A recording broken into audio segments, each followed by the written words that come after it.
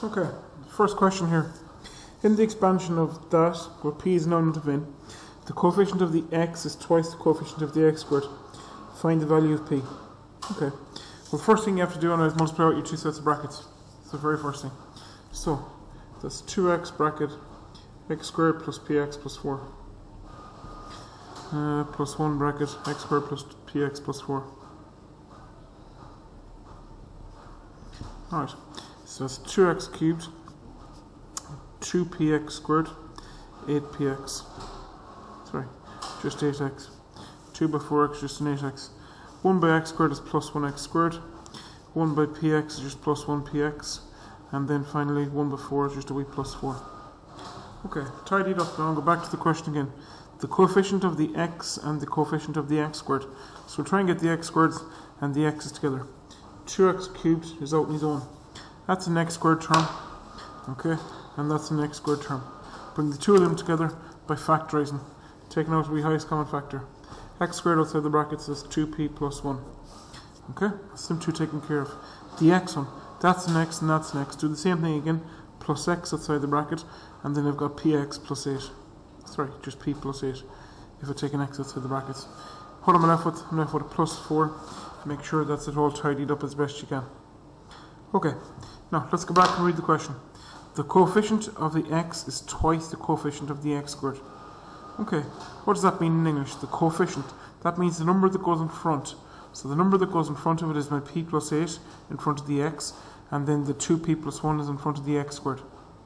Okay, now what that means in English, twice the x squared coefficient would be the same as the x coefficient. And that's what you have to make of that. Okay? The coefficient of the x is twice the coefficient of the x squared. Okay? But because you're forming an equation, when you're doing an equation, the left hand side must be equal to the right hand side. Okay? And that means that twice this, so 2, open a bracket, 2p plus 1, would be equal to p plus 8. Twice the x squared, twice, and I'm just going to put in comma in brackets here, twice the x squared would be equal to the x coefficient. That's what you're talking about in English. Okay, then it's just a matter of working out. 4p plus 2 even is equal to p plus 8. p is the left, numbers the right. That should be a 2 if I can write properly. That's going to give you 3p is equal to 6. p is equal to 2. That's your first question done. Okay, bring across your... Yeah, you know that, yeah, that's fine. But that's the hard part. Twice the x squared would be the same as the x coefficient. You're trying to make an equation, and if you're making an equation, the left hand side is equal to the right hand side. Okay, other side of the sheet. Straightforward fraction question. Easy to make a mistake, obviously, but you guarantee yourself to be back yourself to get, say, if it's 15 marks going for that, you'd be thinking, yeah, I can definitely get myself 10 or 11 here at a minimum. You see a fraction, you see an equals. Okay, you work on your common denominator. Okay, common denominator is all the things that are different along the bottom. So all the things that are different along the bottom, there's a few of them. 2x plus 1 is completely different to 5 and it's completely different to 3x minus 1. So what I'm going to do is put my common denominator across the top of each of the three terms. Because I'm stuck for space here, I'm just going to put it up along the top once. So my common denominator is 2x plus 1, you have a 5, and you've got your 3x minus 1. Okay? Now, what I'm doing here is I'm dividing that into my common denominator. So in the first one, that and that cancel. I'm left with 3 by 5 by 3x minus 1. Plus sign because that's a wee plus there. In the second one, the 5 cancels off with the 5. I'm left with 2. That's the 2 on top by 2x plus 1. And then by 3x minus 1. Closing bracket. Equal sign next. The 3x minus 1, the 3x minus 1 cancels off. I'm left with 2 by 5 by 2x plus 1. And that's essentially the hard part of the question done. From here, it's just backing yourself with your algebra. 3 by 5 is 15. Okay, so just take it, I suppose, nice and easy. 15 by 3x minus 1. Okay. Now, next part. You have a couple of options of doing the second way. Do you want to multiply out the two brackets first? Do you want to multiply the 2 by the 2x plus 1 and then multiply your answer by the 3x minus 1? Honestly, it doesn't matter which way you go about doing it. You're going to get the exact same answer. We're going to multiply the 2 by the 2x plus 1. 2 by 2x is 4x plus 4 by 1 is, or sorry, 2 by 1 is 2. Open bracket, 3x minus 1 is equal to 2 by 5 is 10. Open bracket, your 2x plus 1. Now, take your time. Okay, if you take your time, concentrate on what you're doing, won't be a problem. 3 15s is 45x. Uh, 15 minus 1 is minus 15.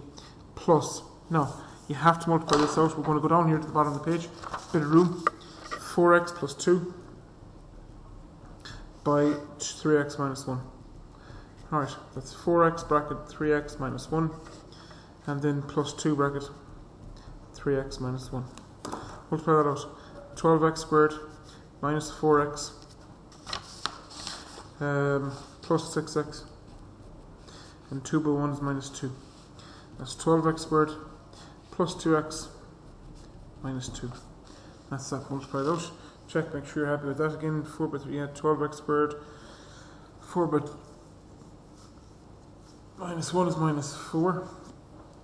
Um, 2 by 3 is 6x, yeah, So good, minus 2, yeah. And then 6 minus 4 is plus 2, yeah, happy with that. Okay, so back into your question again. Put in this here. Plus 12x squared, 2x and 2. Minus 2, sorry, plus 2x minus 2. Now the only place you can possibly make a mistake, if that was a minus, then it'd be minus and I'd put all this in brackets. But clearly it's not a minus, it's a plus, so you don't need to worry about your signs. 2 by 10 is 20x, and 10 by 1 is plus 10. Quadratic equation, how do you know it's a quadratic equation? Because you've squared in it, everything crosses to the left. Okay, that's 12x squared. Uh, 45 and 2 is 47. 47 minus the 20 when you bring it across, that's going to give you plus 27x. What have I got then in terms of numbers? Minus 15 minus 2 is minus 17, it's minus 27. Make sure I didn't make a mess of that now. If minus 15 and 2 is minus 17, bring across your 10, and that becomes a minus 10. Yeah, that's minus 27. Make life as simple as possible for yourself. Divide by 3 is, yeah, as far as I can see, that's a 4x squared. 3 9s are 27, and that's going to give you minus 9 is equal to 0.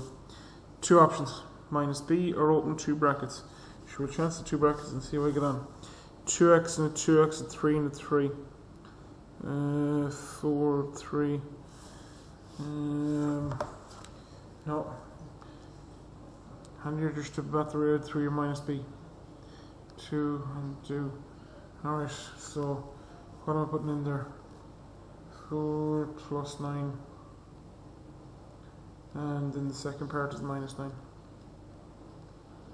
Okay, when you work that out, you're going to get x is equal to 3 quarters.